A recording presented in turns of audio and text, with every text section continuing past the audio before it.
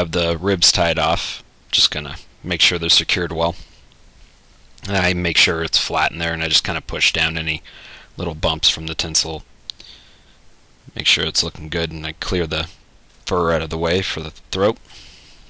Make sure it's really tight wraps with the hackle here. Uh, really want to make sure that they're not loose at all. You don't want that hackle to move around. And this one was pretty close. Really only got one turn right at the throat. Now I kind of pinch it all and really reef down on that stem there and make sure it's tied in nice and tight. It's really difficult when you first start out doing the hackles. Sometimes they work great, other times they're just a real pain, so just figure out a system that'll work for you. Make sure you get any little bits out of the way there. Now I kind of like to clear a way for the wing.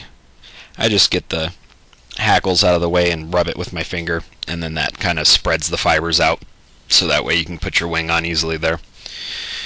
And now we're going to prepare a throat. That's a rooster body section from Feathers MC. Uh, really like that hackle for throats. It's really thick and webby and while it might not be traditional per se, it really gives it a nice look.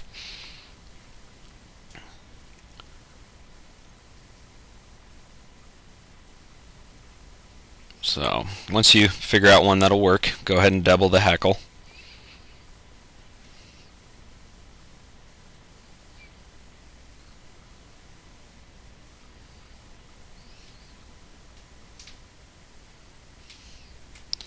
And trim off some of it to tie in easily.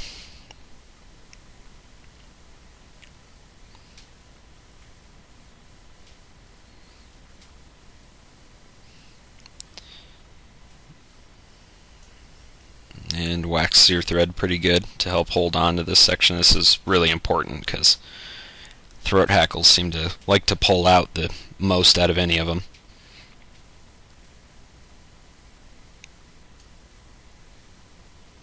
And I make sure there's a good layer of wax thread right there so that it has something to bite onto. Go ahead and tie that in It's kind of hard to see, but I'm really crowding the head here. It's it looks like there's not going to be enough room to get another throat hackle and then the wing on, but there will.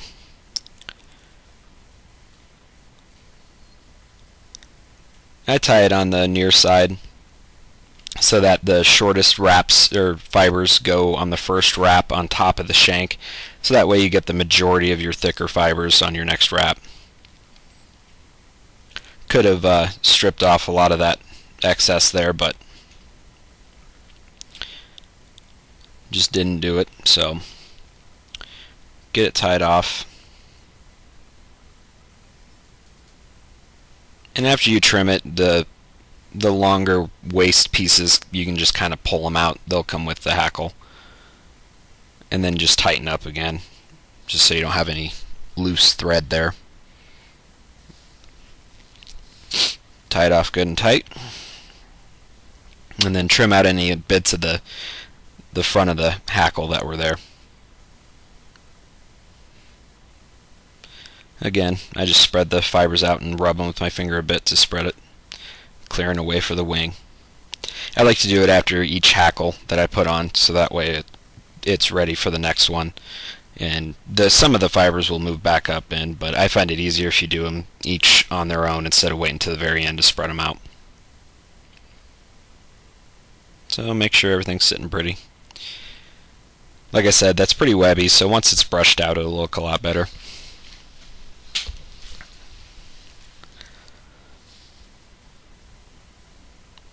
So go ahead and pre prepare your teal, pintail, widgeon, whatever you want to use for the body and or for the throat hackle, sorry. Measure up the barbs and make sure they're good. I get right up to the tip there. Spread out just so you have a few fibers to tie in at the tip. I'll remove some more of the waste end like I should have done on the first throat. Go ahead and double that. I'm using a pretty fibrous piece. It doesn't have nearly as much webbing as some of the hackles do. And that tends to help out a lot because that stuff is super sticky and if there's much web it'll just won't look very good. So try to find the sparsest one you can.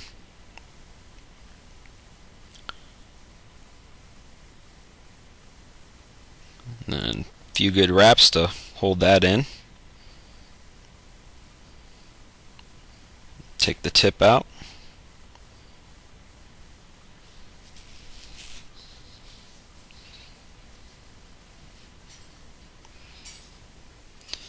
The stems on these like to roll around all weird, so just be forceful with it and make it bend to your will.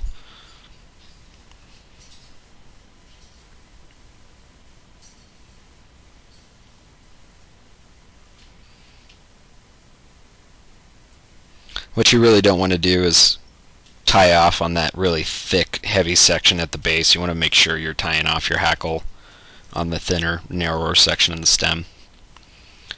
So again, a few good wraps to hold it down. And then some of the fibers will be kind of tweaked at a weird angle. And usually it's because they're, they're being pushed back up and around. So grab those and pull them back down into the place that you want them.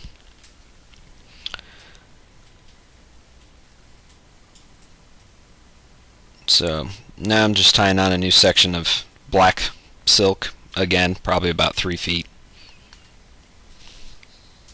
And trimming out the waste pieces of thread.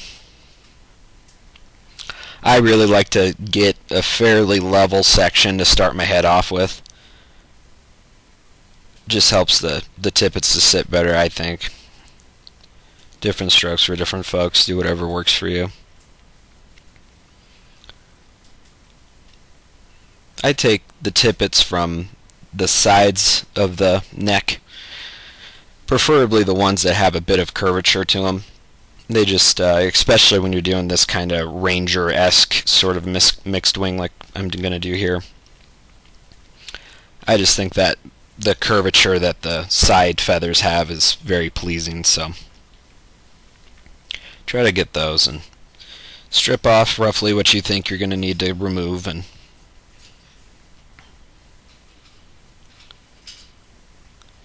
I'm using bigger tippets than I would say you should normally use just because I like the the thick, wide tips for this Ranger style kind of mixed wing thing. So, and then once you got them roughly what you think, ch check them against the fly. Obviously I hadn't removed enough, so I got to do some more.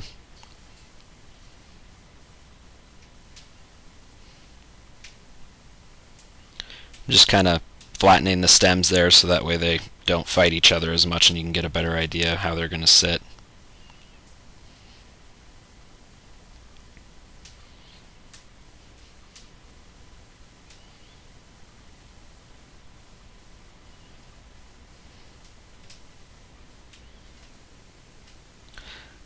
So sometimes if you're really lucky, they'll uh, go straight on perfectly for you. So I just try them first, see how they sit.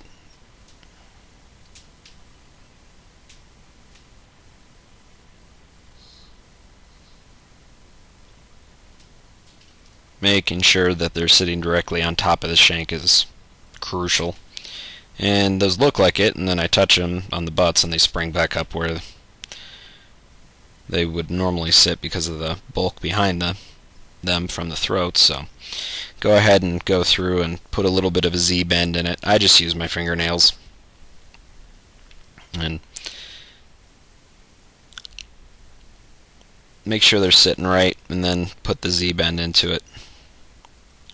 Doesn't have to be a whole lot.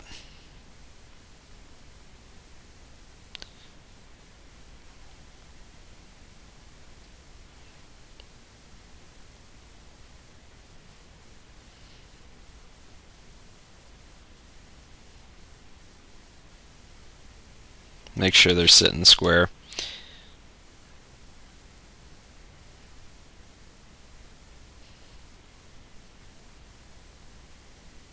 Sometimes you have to tweak the stems a little bit just so they'll sit flush with each other.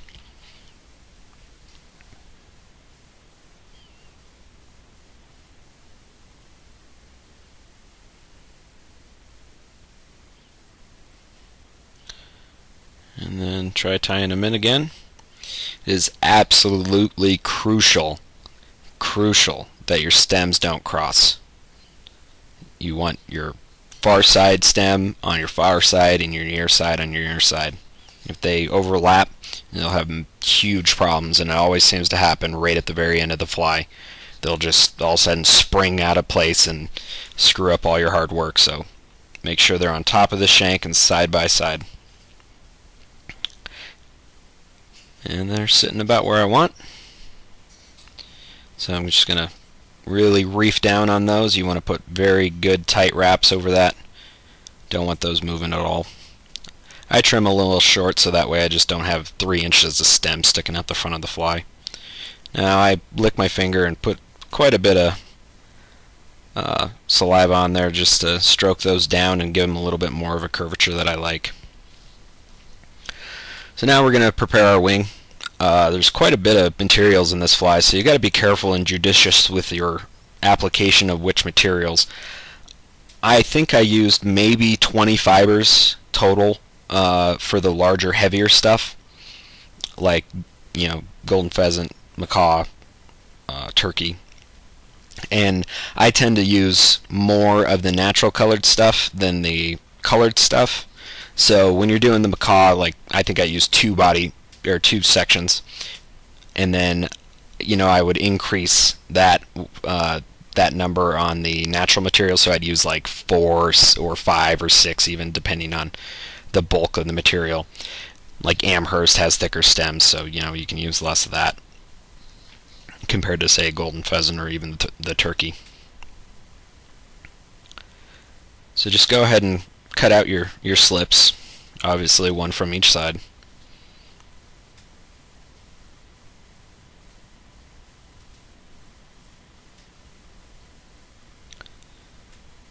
Like I said, there's quite a few materials here. And then once you uh, get all your heavy stuff cut out, like your turkey and bustard and golden pheasant, etc.,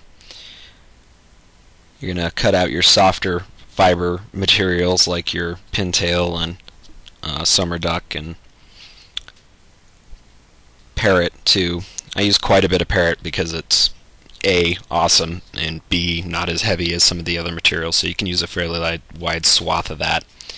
But you're going to use probably, I would say, almost twice the thickness of your colored materials in your uh, softer fiber materials like the teal and stuff, or pintail, whatever you're using. That stuff, if you use thin sections of it, it tends to get lost in the mix. And plus it's really pretty so use it.